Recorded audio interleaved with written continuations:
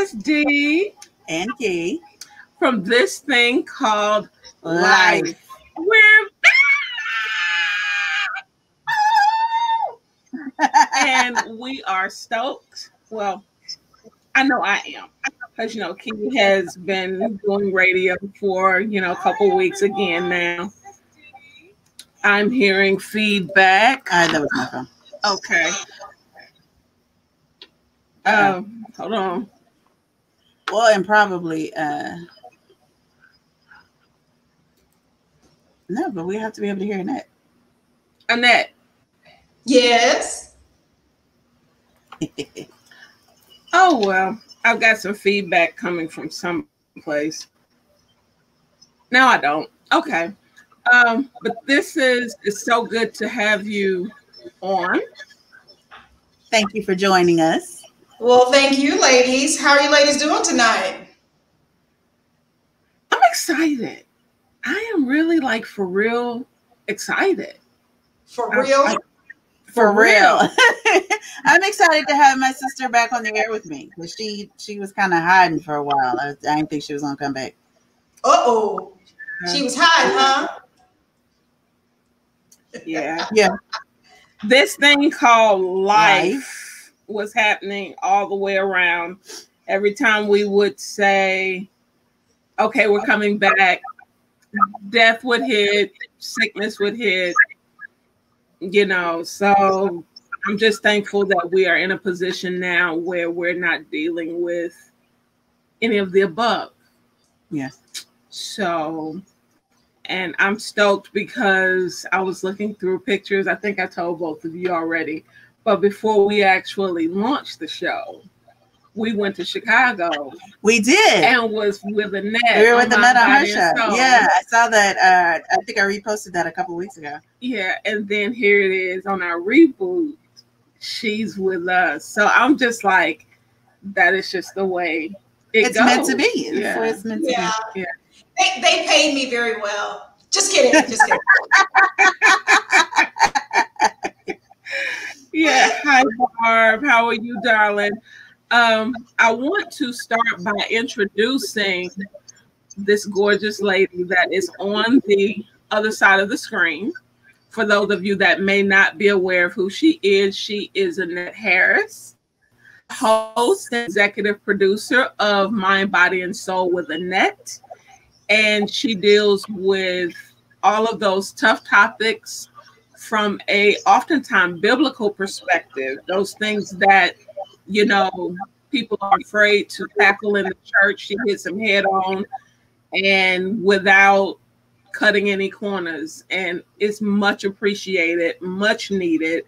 And I wish that she, that all of you would just at some point in time go to uh, find Mind, Body, and Soul with Annette. That is uh, with the W uh, slash A N E T and follow her page. Um, also, for those of you that are watching us for the first time on this thing called Life, we also have an IG page, we have a Twitter page, and as you see, we also have a, uh, a Kee and Dee um, fan page as it relates to, to the Facebook page that is separate from our personal pages that we reserve for our families.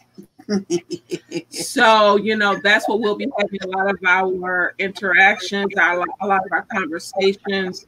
So we ask that you would send your friend requests and, you know, um, chat up with us sometimes. But Annette, thank you again. And today's topic is victimizing the victim. And it's a whole personal issue. It is one of those things that absolutely positively grinds my gears and will, you know, I don't generally watch a lot of the news because for me, no sooner than you hear what happens, then you're hearing the negative about who it happened to. That is one of those things that absolutely, like when I said, grinds my gears, but it also tends to have an impact on me mentally and emotionally, which is I think what we, you know, what we're going to touch on today. Because I'm one of those people. I am an empath, and I am one of those people. I, I, like I said, I get to the, the point where really, if there's something going on in the world, like my mom will call and tell me, or Dee will be, "Hey, King, did you see this?" I'm not looking. I'm just not. Okay. So the angle that I am looking at hitting first is are we even aware of the fact that we're doing it most of the time? That we are being judgmental without even recognizing the fact that we are. Right. And the example I used um, when we put up the post was what if a police officer was shot? Is he a blue life or is he a black life? Especially in today's um, in today's environment, you know, with all of the racial tension, you know, when you hear of a police officer getting shot, the first thing you think about is was he black or white? Was he black or white? Person or was he shot by a black person? And the truth of the matter is, should it matter? Well, we know that if he was shot by, you know, if if if it was, if the person was shot by a black cop, we know that that's getting ready to be a whole, um, that that that particular you know officer, and and unfortunately, and it's horrible to think that way. That you know we feel that you know that black that black officer just lost their job, you know, if not their lives, you know, they they definitely just lost their jobs.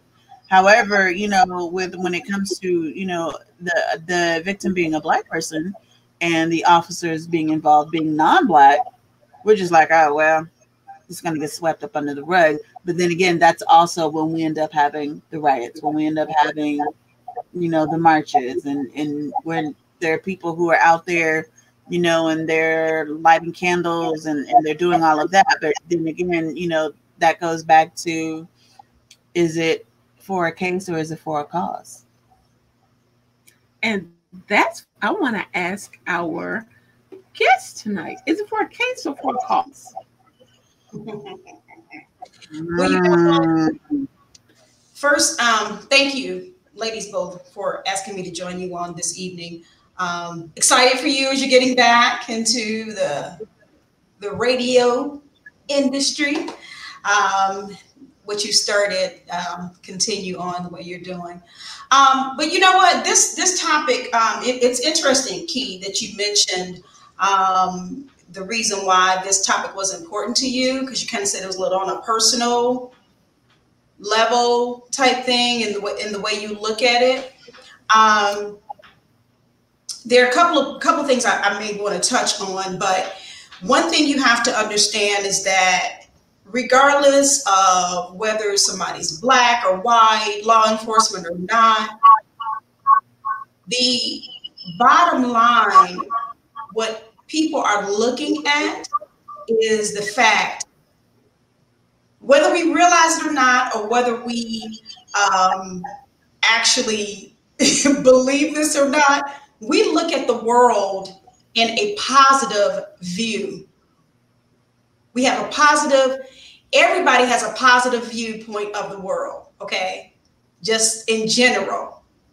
So, for something to happen that's not positive, whether it is murder or rape or bullying or what have you, in an individual's mind, they're like, wait a minute, but this is a positive world. I have a positive view of the world. Why is this happening? And then also, why is it happening to somebody that's like me? Mm. So then you're trying to wrap your brain around that. And the only thing that your brain, and I always tell people, when the mind doesn't know the answer to something, it creates the answer. So, what you're trying to do, you're trying to understand why this happened to um, um, we'll just throw out some examples. Um, Breonna Taylor. Why did this happen to Breonna Taylor? Breonna is probably, you know, many of individual's age, or maybe your niece or somebody's age, or somebody that you can kind of relate to. You're like, why did that happen to her? So then you're trying to break it down in your mind, right? You're, you're trying to figure this thing out. And it, it really doesn't make sense to you because I'm looking at the world in a positive view, but that wasn't a positive act that just happened to Breonna, okay? So your mind is trying to find the answers. That's the bottom line of what I'm trying to say. And then because it really can't put two and two together at that point, then comes the victim blaming because you're thinking that person had to have brought this on themselves. Because if I'm looking at this world in a positive view, there's no other way or other reason that this had that this could have happened except maybe that individual brought it on themselves. So mm-hmm. that's what you're trying to pull in. My mind is very complex. It's very complex.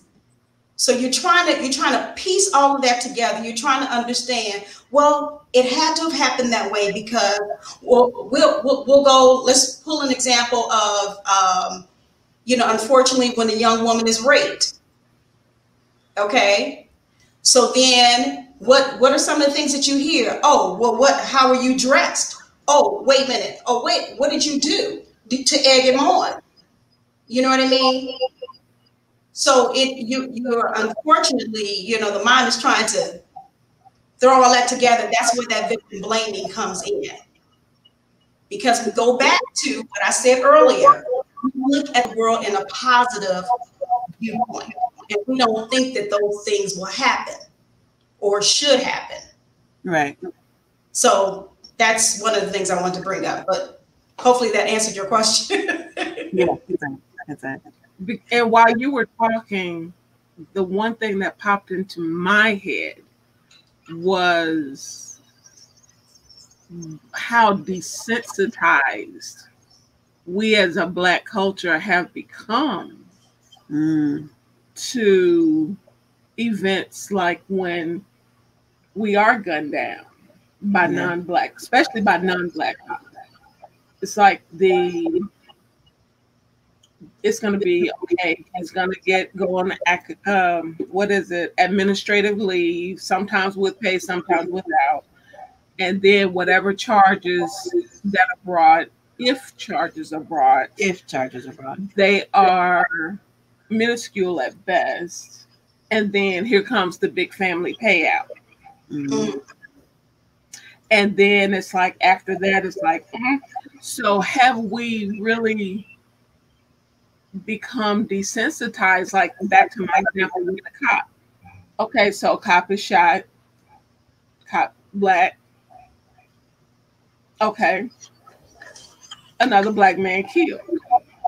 But I did notice that there is a different response when the cop is not in uniform and he's profiled. Yes. People become enraged when that happens. Yes. Like I think was it an FBI agent? I think we had talked about that at one point in time. It's been a few months back now when he and some of his fellow friends and these cops walked up to him saying he fit the description. Yes.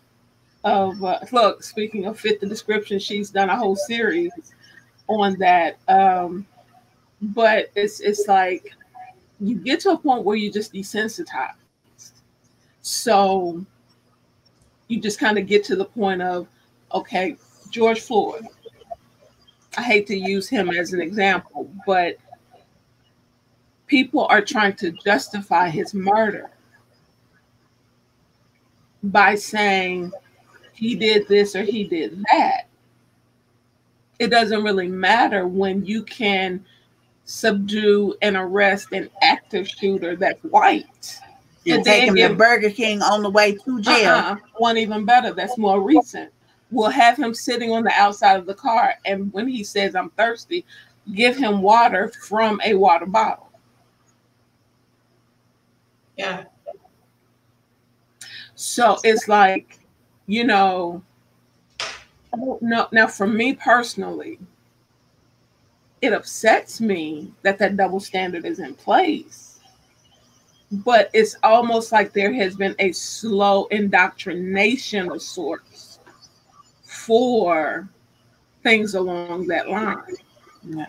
I'm just going to read a couple of the comments. Um, we've had a lot of people who, um, oh, there we go. Unfortunately, in the modern world, I see too often people don't want to blame the person for the actual actions they did, rather blame a group, and instead of blame the victims, and instead of blame the victims because because it takes the focus off the prosecutors, the persecutors.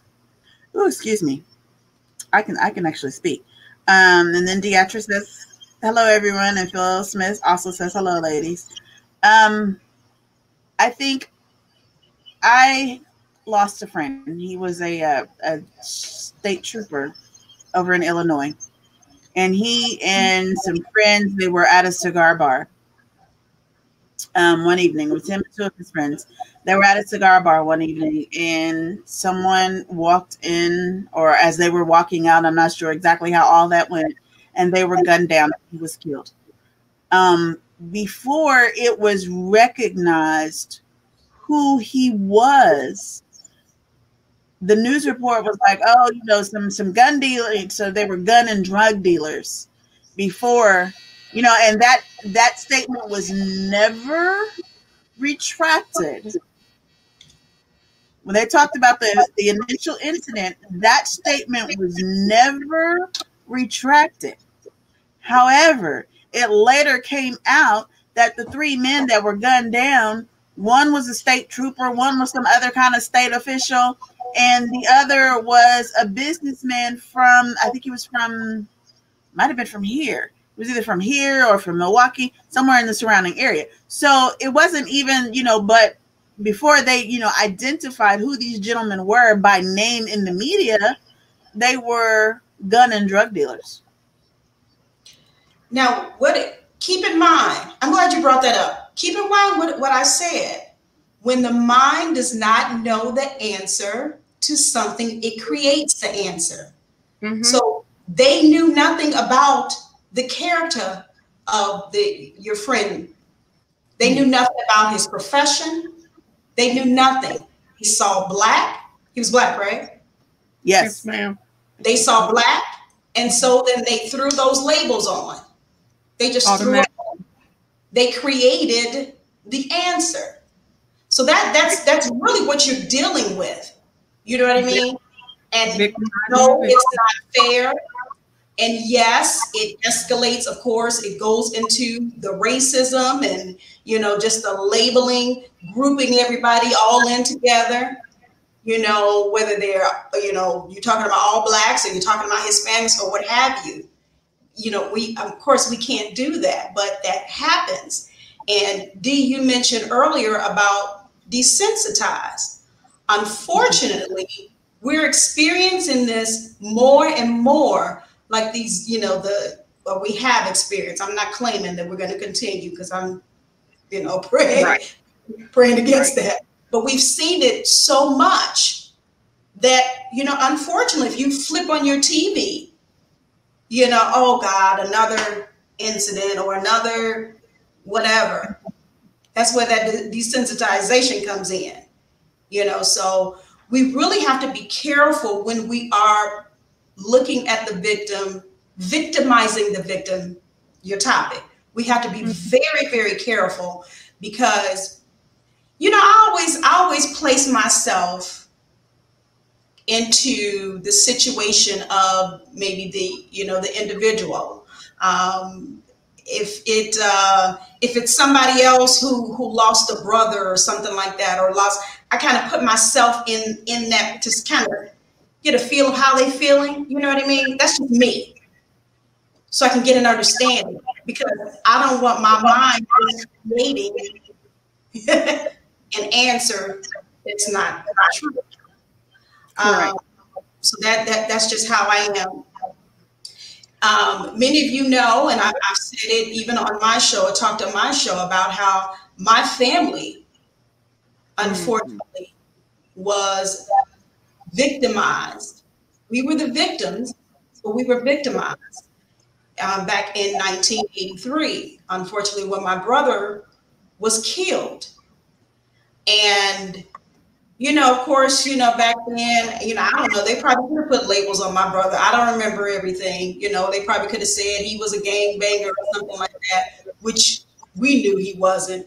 Matter of fact, my brother was one of the ones in the neighborhood who would go and witness to gang members about Jesus Christ. He didn't care, he wasn't scared or anything, right?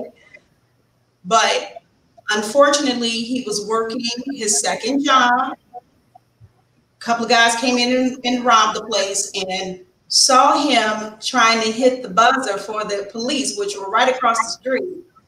Hmm. Turned him. My brother's dead. Um, the young men who actually committed the crime, they were my age at that time young teenagers, I was what, 15? Was I even 16 yet? 14, 15 years old. So, you know, then we had to go through them catching the guys, and then we had to go through a trial. My family became victimized during the trial because their family would threaten my family. Now, your loved one took away my loved one. My loved one is no longer here, not able to breathe, not able to live, you know, on earth any longer. You're threatening my family, like you're mad at us. Who does that? Mm. And we literally had to be escorted in and out of the courtroom when the trial would happen. And we literally had to have security outside of our home because they were threatening to harm us, to kill us, and all of that. Who does that? But your family was the one that suffered the loss. That suffered the loss. The victims. Exactly. Right. Yeah. Exactly. So, you know, you, you look at all of that and and you know, maybe they I don't know, they maybe they were mad that their loved one actually did it and they're just taking out their frustrations on us. I don't know. I never understood that to this day. And it's been what? Oh my God. It's been years. um, so I've never understood that. But again, you know, we we have to be careful when we are um, talking about a victim, victim's family. You know, we, we can't just automatically just throw labels on and just tear them down and victimize them. It, it makes no sense put yourself in that situation and see if you would want to be victimized. Right. And that actually falls right in line with the next comment. We have all been conditioned to a pre victimized state of mind growing up. How many times have our parents told us not to get caught being in the wrong place at the wrong time? Or, you know, for young ladies, our mothers talking about, you know, you're gonna be out in the world, you know, the, the, the, what, what you got on? Why why you wearing that? You know, that's that's the way to get yourself caught up. That's when you asking for trouble with that outfit on. Woo, that was, and you know what? You have to be careful with that because then those who are raped, they don't want to come forward. We know that. Yep. They don't want to say anything because they don't think that anybody's going to take them seriously. Now, they may, let me tell you this, they may have had on a short skirt. They may have gone to that club, but they didn't ask to be raped. No. Nope. And if they said no, no, don't do this, that's rape. Absolutely. I'm sorry, you're going to go. No, point blank, period. Absolutely. Point blank, period. There's no way to sugarcoat that. Um, uh, no matter what a supposed suspect has done in the past, he did his time for his past transgressions. He has every right to due process. I'm a veteran as an and as a law officer, they are held to the same standards. They must follow the laws within the constitutions. These rights are for each and every citizen. Now, I'm going to say, and this is where I take issue. Now, I love Chris to death, and you know, and and Chris and I, we we have very spirited conversations. We are involved in a lot of um, projects and whatnot as far as inclusion and diversity and the whole nine. I am one of those who believes that when the Constitution was written, we weren't considered human. So when the Constitution was written, when those laws and stuff were written, they didn't apply to people that look like me because I wasn't a person. I was considered less than a human.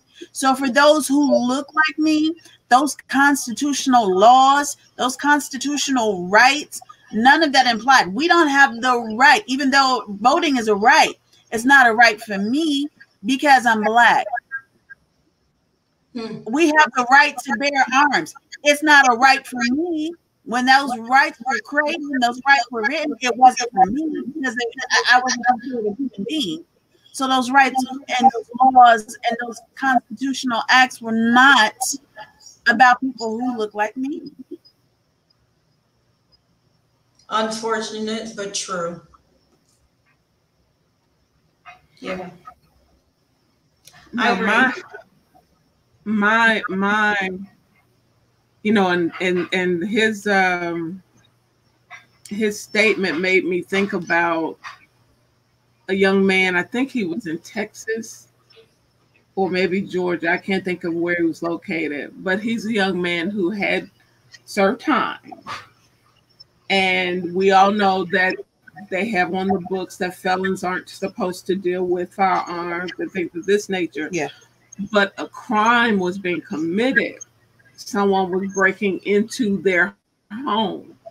The gun did not belong to him, but he knew where it was in the home. And when an individual came in uninvited during the course of the midnight hours, he proceeded to handle things to protect his family, his children, and his wife. But instead of the focus of everything being placed on the fact that the person that got shot was breaking in, the emphasis was put on the fact that he was a felon and he should have never had access to a firearm, which opens up a totally different discussion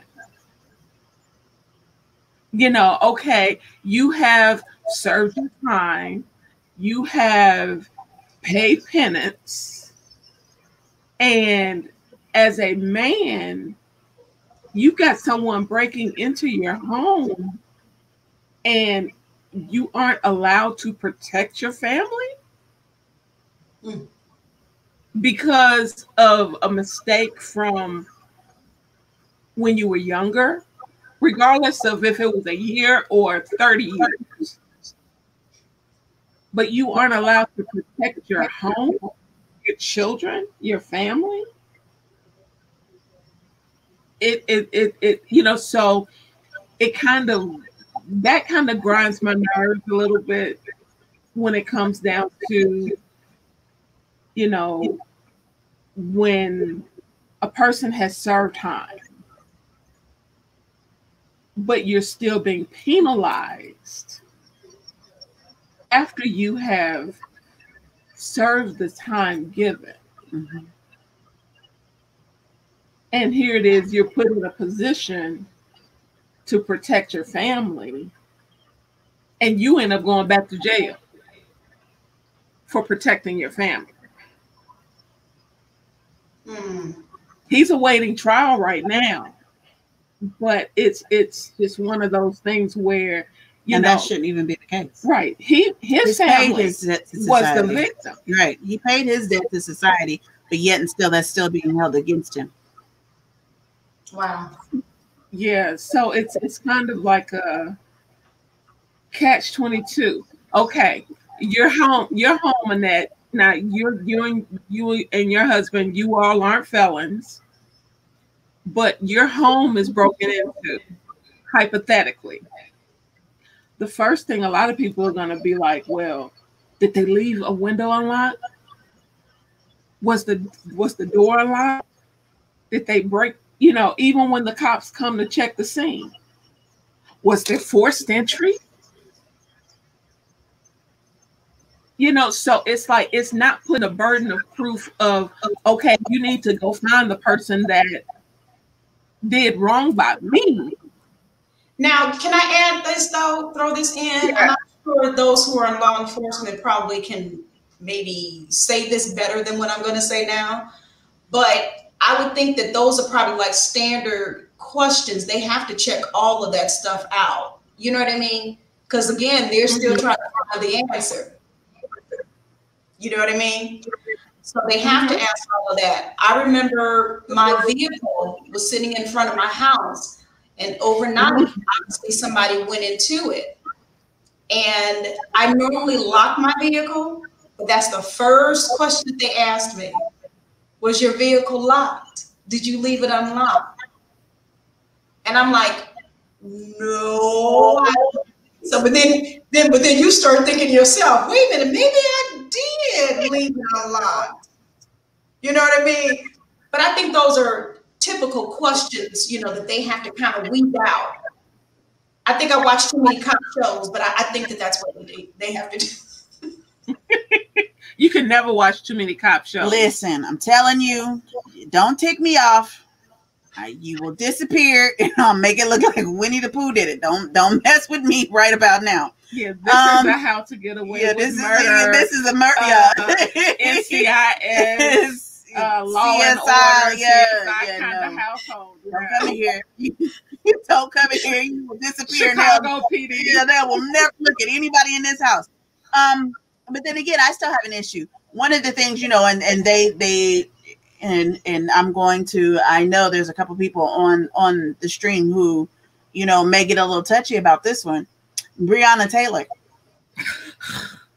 including my sister. This woman was laying in her house in her bed asleep. Got the house was they came into police. Let me not say them and they. The police came into her house while she was asleep and they murdered her in her bed while she was asleep. They could not say she was resisting arrest, which is something that at the very, very, the, the very first thing that was said was that she was trying to resist arrest. No, the sister was in the bed asleep in her own house that you had to force your way into. That nobody called you to come over to. You had to force your way into this house, into this woman's bedroom, who she was asleep. She was, you killed her while she was asleep. You know, they tried to like run a background check on this woman. Luckily, she was clean. So now you can't even use that. But they don't want to release the names of the officers that were involved in that. Yeah. Are you serious right now? She was at home in her bed, in her home, asleep. Mm-hmm. there was no resisting arrest. She didn't attack the police. Hell, she didn't even know they were there. But I think with that, that's where the boyfriend comes in because he did have a firearm because he thought that you know some somebody was breaking, breaking in the house. house. and they initially charged him until a big stink was put in place and people raised 50 pounds of heck to get him and they realized okay well no we went in on a no knock warrant and this man was doing what he was supposed to do. Yeah. You know, and they did charge him, I think, with resisting and something else, but all the charges against him had to be dropped. dropped. Yeah. Had yeah. to be dropped. But uh, but yeah, but see, that takes me to a situation with and I know most of the people online. Well, let's hit this comment from Buddy and then okay. we'll we'll hit the next one. Victimizing the victim happens when the perpetrator is seeking to avoid punishment or his or her supporters are assisting them in that effort. George Floyd, George Floyd, I, I have to come. Eh, whoo, whoo, never mind. I'm, I'm just gonna, I'm going, I'm gonna step away from that. Dre'Shawn Jones, which is a, a situation that was here at home, here in Indy, still going on, still going on that young man, now mind you, he was an enlisted officer who was home, who I think he ran a stop, a red light or something. I'm not even sure what it was. But instead of stopping, he kept going. Then again, he realized that he was being pursued by several white police officers. Now we're in a very, very racist city. I'm not y'all, y'all can say whatever y'all want to about Indianapolis. Indianapolis is one of the most racist cities that I have ever lived in, and I've lived all up and through down in the South. Race Indianapolis is one of the most racist cities I've ever lived in. Pointing that out. He was realized he was being uh, followed by several white police officers. So he jumped out of his car. Mind you, the whole time he's got Facebook Live going. They said now, mind you, he's also having to hold his pants up while he's running. So he's got his phone in one hand, he's got his pants in the other hand. But they said he turned around and fired at the police officers, who then unloaded. They shot this man, I think, upwards of 36 times. He was shot so badly, and his face, his mom was a nurse, his face was so disfigured from bullets that when the mom had to go to identify the body, they wouldn't let her see his body at first. And then they wouldn't release the names of the officers at first. But, and then they tried to say one of the very, very first things that they tried to say was he turned around and he fired back at the police officers. That's funny. His gun was found in the car. The gun is found he turned around and he fired at the police officers. No gun was ever retrieved. No gun was ever found with the body. Very first thing they said, oh, he fired at the police officers. That's why they opened fire on him. And then a black officer, now this came out later, a black officer, when all of this happened because they didn't realize that the phone was still recording, looked down at him and said, oh, well, that's a closed casket. Guess who's been fired and guess who's still employed? The black officer was fired. The white officers, the ones that were named, because there were, remember, I said that there were several in pursuit. So there were several there. Like the bullets that were in the young man's body came from more than just the two guns of the officers that were named. The black officer was terminated. The white officer, I think, is still pending administrative review. The other officer's name was never still released. Wow. And the only reason the mother finally got the um, coroner's report is because was because she no because she had the the courts had the um, special prosecutor requested oh yeah that they not be released to the family or the attorney and they raised 90 pounds of that. So that was the way that they managed to eventually, after I think it was after about three weeks after it was given, yeah, they finally got the coroner's report. But they are, but under the stipulation that they can leak absolutely no information that's on that report. Wow. But even with Dre'Jon, being stupid and young. You know, was he I, like 20 years old? 20 somewhere like 20. He was he was under like about 22 years old. But even with that, now people were taking the Facebook Live video from when he was being stupid and irresponsible mm-hmm. and a complete butt crack and going through neighborhood shooting the gun that he had. Mm-hmm and they are you know and i and i get the frustration of him them seeing that because i was like are you for real? You could have shot up in somebody's house and killed somebody. Are you serious? But then that this particular incident when he was killed you know i'm still waiting on because see you know they just put out a request the uh, the uh, Indiana State Police or Indianapolis Police Department, I don't know which one, just put out a request asking they're looking for two specific vehicles, one in particular that went through right when everything happened. Probably the mother and daughter, where the daughter got out and filmed everything, but yeah. they don't know who that is. Right. And uh, so they're looking for this particular vehicle, the people that were in it, so that they could talk to them. Whatever. Give us your phone and audio footage. Nope. And that's you know, so that's kind of one of those deals mm-hmm. where missing that one to say something. Now she laughing at me. Go ahead, Miss Annette. I'm sorry. No, I was going to ask a question because I was trying to get clarity on what you guys were saying. So okay. there was footage of him before the incident that he was killed, of him shooting through the neighborhood or something? No, no, no. When the car chase happened, he hit Facebook Live. When he got ready to jump out the car, he turned on Facebook Live. So he was recording everything. What happened was during the chase, when they all got out and they were on foot, a car was going through when all of it happened. There was a mother and daughter. There was there were several people that went through, but there was specifically a mother and daughter whose name would not be released, and they wouldn't give their names. But they got out. The daughter got out and filmed what happened.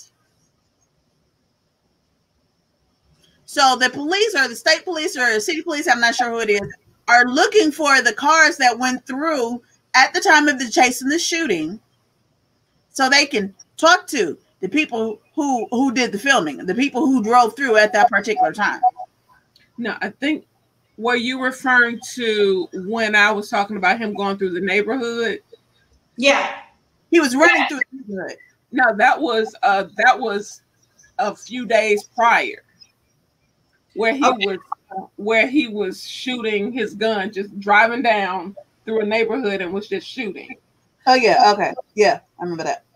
Okay, so I was trying to piece everything together. That's why I was asking the question. I had heard about the incident, but that's the first time I heard about days before, days prior, whenever it was, him going through the neighborhood shooting. So I want to ask you a question. Now, I do not agree with victimizing the victim. I do not. What would you say, even in an instance like that, the one you just brought up about him? Now, you know, unfortunately, a lot, a lot of times labels, we already talked about labels just being placed, you know, regardless of what your uh, race is or what have you. Um, if, take that young man, for instance, would you still consider them victimizing him because I'm, you know, relating what he had done a few days prior? Are you still considering that he was victimized once for he was me, murdered? Mm-hmm. For me, you can go and get active shooters, white shooters. You can go and get active shooters who have just desecrated uh, police, uh, you know, theaters or just walked into a mall or a crowded area and you just done killed all these, you know, bro, walk up into a school, you just done shot up all these folks, and they can apprehend that same person who is armed, who is armed. He was not armed when he was shot down. You can apprehend this this same person who is armed, who we know has killed people okay, you can apprehend them and you can take them into custody. You can sit them on the sidewalk and give them water from a bottle in your car, or you can take them to Burger King. Either way it goes, they are alive, they are in custody, and being shown preferential treatment. Mm-hmm. So if if if that if you can apprehend someone who has we knowingly just killed all these people and who is armed at the time that you approach them, yet you have to chase this person who is unarmed and that person is now killed and murdered and dead and they didn't kill anybody previously. Yeah. Yeah. To me, that's still a victim. Okay. Victimizing the victim. All right. I mean, that, I mean, I just wanted to know what, and anybody else on live, you want to answer that too. I just wanted to know because then it gets into um, kind of what you talked about earlier, Dee, you know, just you know, you just automatically just because they were this or because they've done this before in his situation a few days prior, you know. So who knows? Maybe maybe they had been looking for him. I don't know. But then I get what you're saying, Kee, and I, I do agree, you know, that um, the way it's handled, the way you apprehend someone, I mean, it, yeah, what we've seen them do before with the guy was Dylann, right? Is that the Burger King guy? They took him to Burger King. Was that Dylann? Was his name? Yeah. Yeah. Okay. Um, yeah, it, it it's it, it's sad. Um, and then you have to look at, I mean, there's so much that goes into this. You know, how do you, in as the police, uh, law enforcement, how do you even handle, um, you know, these situations? Because, yeah, I mean, it, it's ridiculous the way you apprehend. They they have to do a better job. They have to do a better job. And uh, Barbara says that they are two separate incidents. So yes, in oh, where'd he go? Okay, it's two separate incidents. So yes, in the shoot down incident, he was victimized. Considering the previous incident, uh, no, you, considering the pre- previous incident that happened days earlier, would be victimizing the victim because this is a. Those may have been why they may have been looking for him but in this particular situation, in this particular instance, one, again, no one had been killed at that point. He was unarmed and they they mowed him down. So yeah. She says it's very complicated for sure, but you know, the facts are the facts. And I agree with that. And and and so for me, that is just another, you know, another case of you know, and, we're victimizing him. And where they're saying that hey, that, that his um hey Cass, as we're in our papa, hey Cass. Sorry. They were saying that in his um that his gun had been shot twice and it was beside him. Now for now I actually saw the video that the young lady recorded because they started out with her and her mom in the vehicle. Yeah. And after you hear this succession of, you know, all these different shots, and then all of a sudden there's a moment of silence, and then you hear pop. So here it is, somebody whose whole face is gone. Yeah. Is supposed to have turned around and shot. Turned around and shot at because see, even the young lady was like, Oh my god, they tased him. And then next thing you know, he was down. So it was just so it's a very it's it's one of those things where they're gonna have to go timeline, just that timeline is gonna have to be. So that's why they're looking for her. But you know, going back to the original topic at hand, he was stupid with he, the things he did. He, he was, was, not wise no. with running from the cops. He was not wise doing that at all because he was actually being chased by a couple of other officers who fell off of the chase. They they stopped chasing him. Mm. And then another vehicle that saw him further down picked up the chase again because these other officers were like, okay, we're heading into you know more populated area. Yeah. So they fell back off of the chase. And so this other vehicle initiated a chase, you know, further down the stretch. And that was when everything else uh, happened because and it, what was so sad was he kind of I guess knew because even on the live he was apologizing to his mom. Yeah. Wow.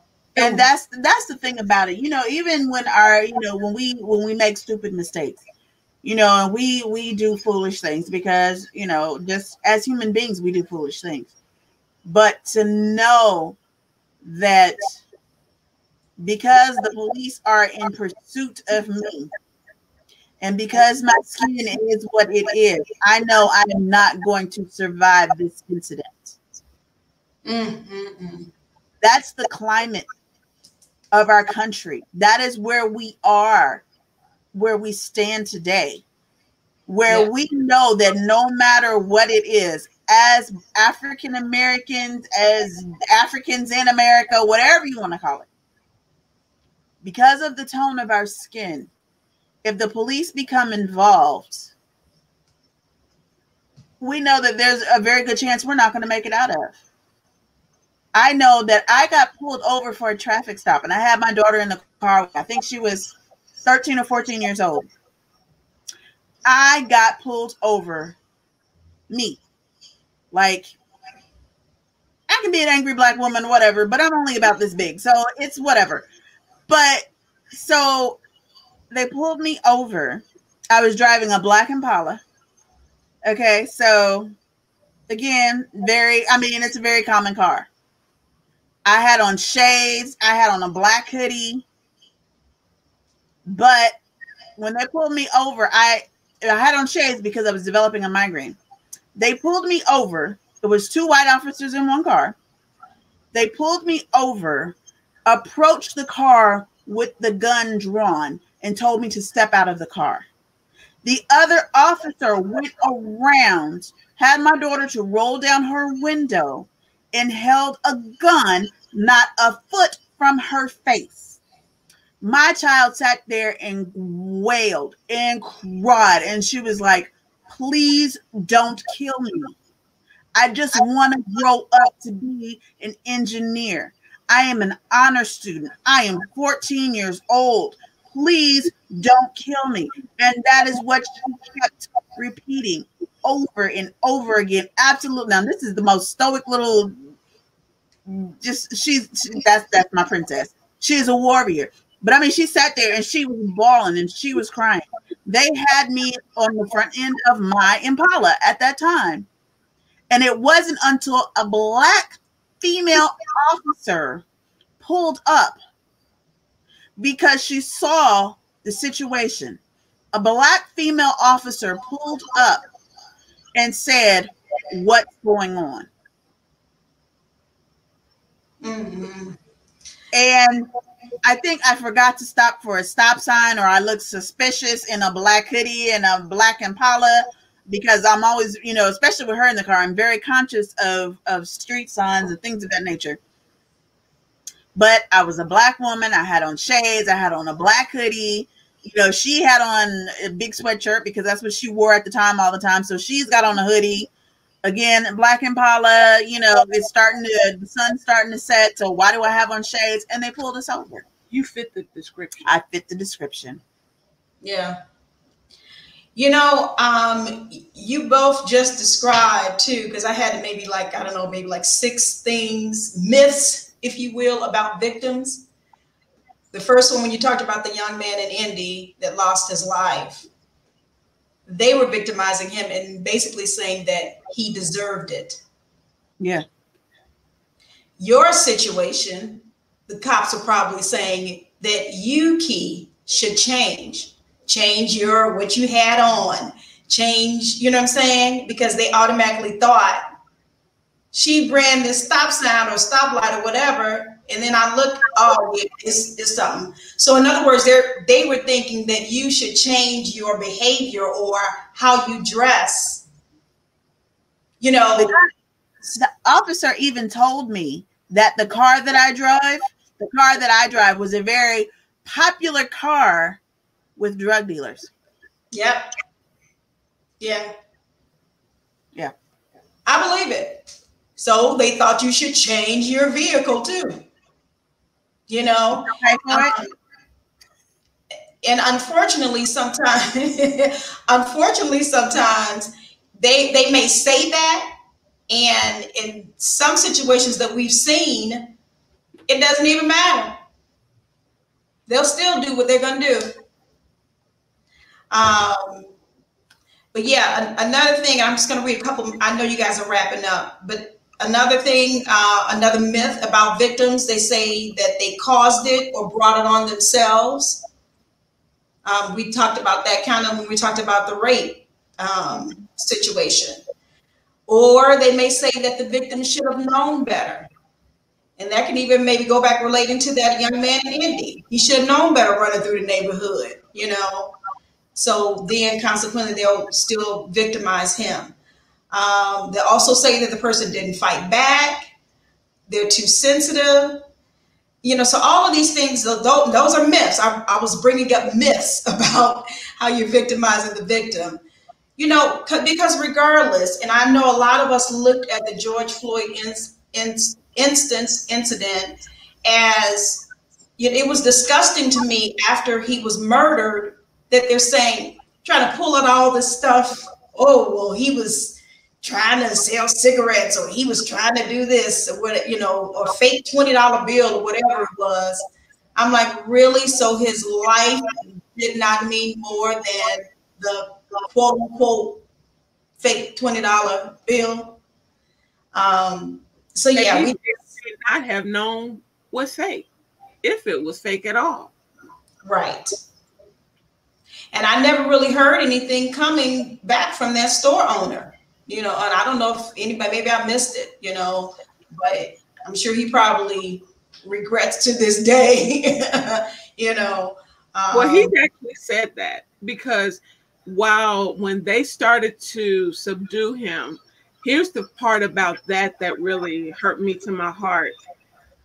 They had actually called for medical assistance because he was having breathing issues yeah.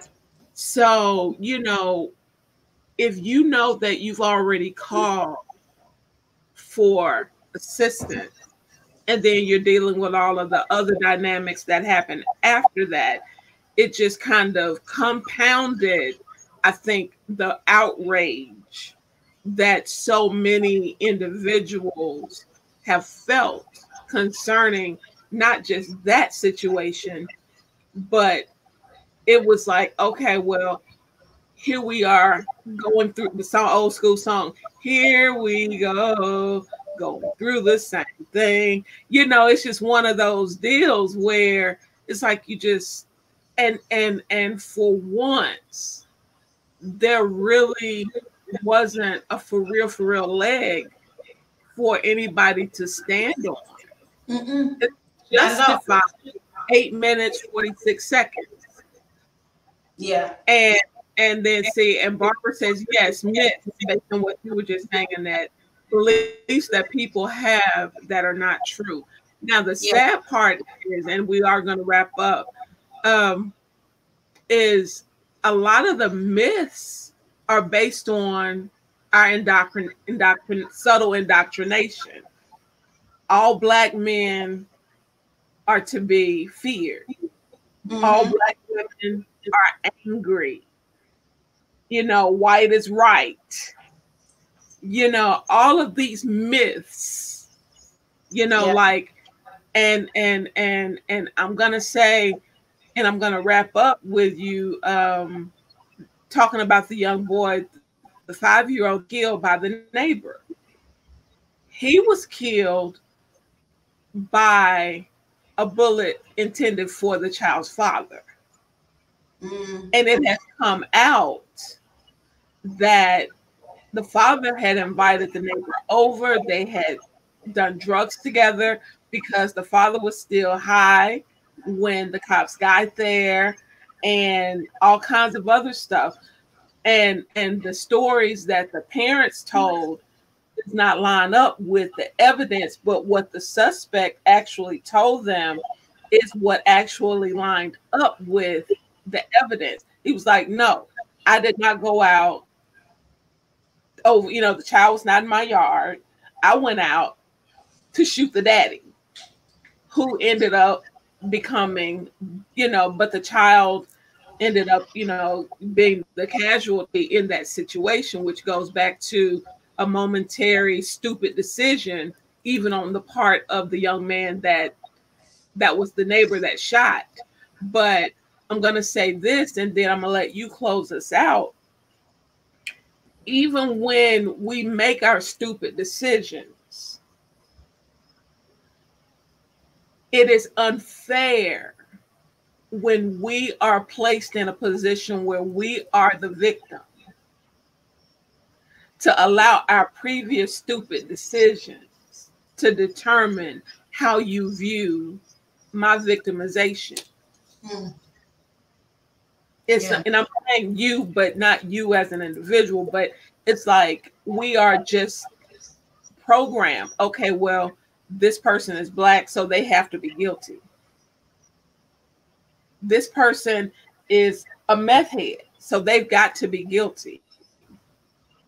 This person's a drug dealer or a former drug dealer, so they've got to be guilty.